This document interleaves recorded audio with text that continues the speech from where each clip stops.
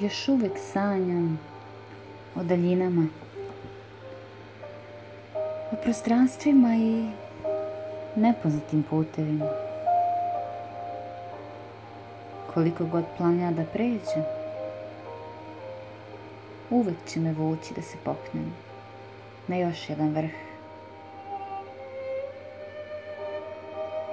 Još uvijek sanjam neke izvori mora,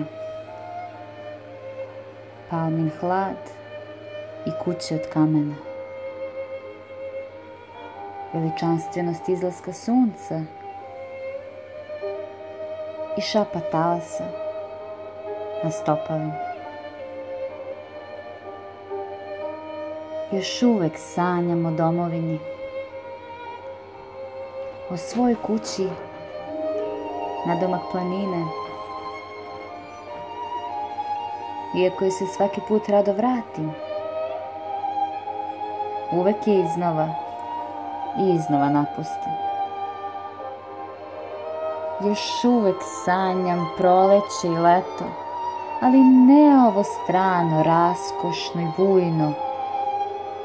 Sanjam miris bagrema, jedan mesec mladi i svetlucavi treptaj hiljada svitaca.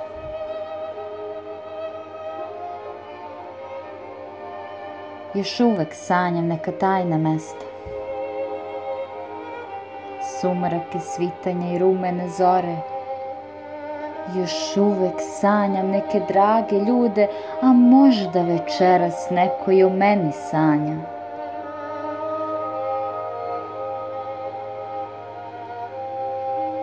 Još uvek sanjam onu pravu ljubav, bliskost, toplinu iskonsku lepotu. Sanjam jedne oči, boje julskog neba,